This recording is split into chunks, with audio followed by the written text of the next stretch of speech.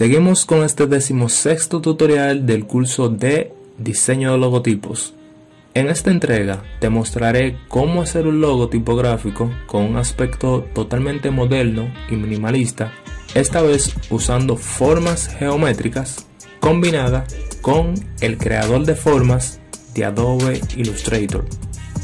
Así que primero vamos a invertir esto y ahora vamos a seleccionar la herramienta rectángulo y con ella voy a crear un pequeño recuadro con una anchura de 110 y una altura de 297.4 píxeles.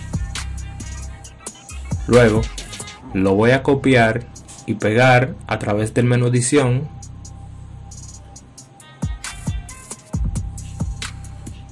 De paso, voy a aprovechar para arrastrarlo un poco a mano derecha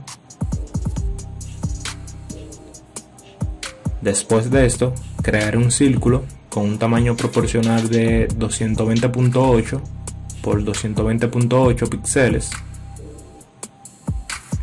Bien, ahora a este círculo que acabo de crear lo voy a alinear hacia arriba y a mano izquierda con el primer recuadro.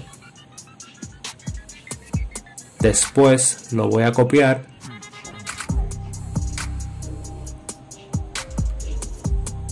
y luego lo alinearé con el segundo recuadro.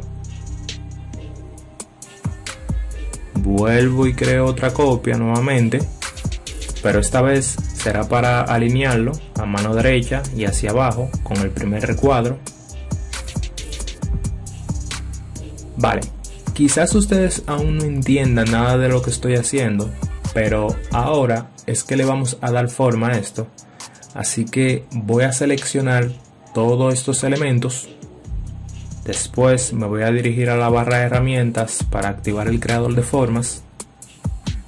Y situándome justamente por aquí, presionaré el clip izquierdo de mi mouse y crearé una nueva forma combinando esta zona de aquí. Ahora hago lo mismo de este lado. Luego elimino todo esto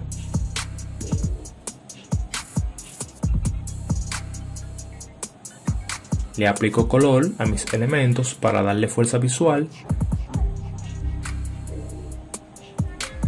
Y listo. Ayúdanos a seguir creciendo suscribiéndote a nuestro canal.